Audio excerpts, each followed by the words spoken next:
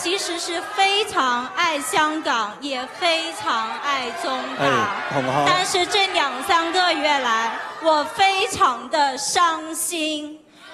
你们总说是别人的错，可是有没有想过，恰恰是你们自己在破坏了香港的法治、自由、民主？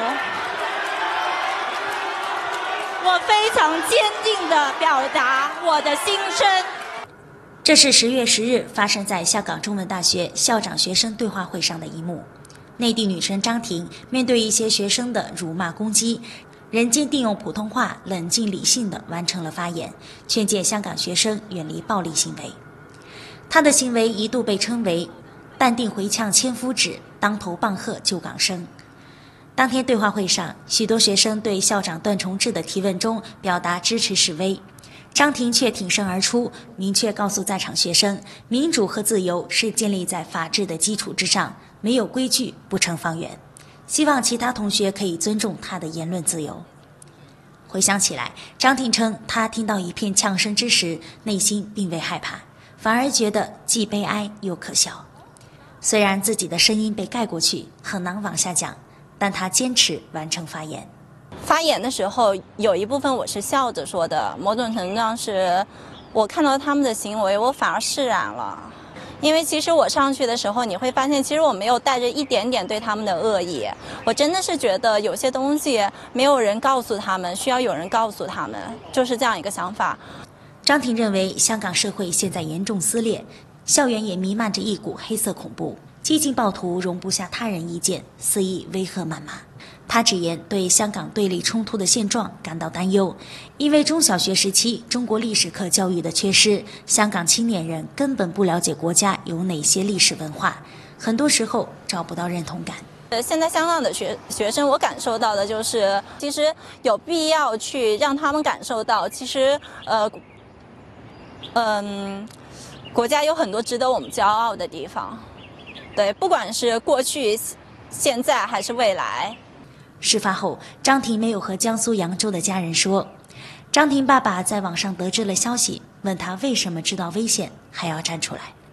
张婷称自己是一个倔强的人，早就做好了被攻击的心理准备。张婷多次回看了当时的影片，认为其实自己的发言已经达到理想的效果。他发现不少网络评论里涉及辱骂的学生开始理解他的行为，对当天的不当行为进行了自我批判。而他所接触的朋友及内地网民对他都予以肯定和支持。你可以看到，就是在我完整的那个呃见面会的那个视频的呃下面，在 Facebook 上面会有很多的香港人给了非常高的评价，所以香港人我觉得他们是认同的，所以可能，所以其实我到到目前为止，呃，我也没有受到什么样的呃攻击啊，哪怕是在 Facebook 上面这样子一个状态，其实呃，其实某种程度上他们是明白我讲的道理的，我觉得是是有用的，所以其实呃加强沟通是一个就是加强呃。内地学生和香港学生这呃他们之间的一个沟通是呃是非常有必要的。专攻社会生态环境领域的张婷，从复旦大学硕士毕业后，本有机会赴英美读博，但最终选择了香港。他对祖国的国土有种眷恋，认为香港是一个待得越久就会越喜欢的城市。他对香港社会问题颇有研究，并相信暴力事件只是暂时因社会矛盾激化所致。未来会圆满解决，他也希望本地学生能够多到内地看看。恰恰我们要反思当下的这个制度有什么样的问题。对，我我觉得西方式的这些就是嗯呃当下的制度不一定是能够解决香港问题好的方式，所以我恰恰觉得香港应该应该向。向他隔壁的深圳学习，向向向向内地更多的去学习，学习我们我们现在为什么这二三二三十年蓬勃发展的这些原因。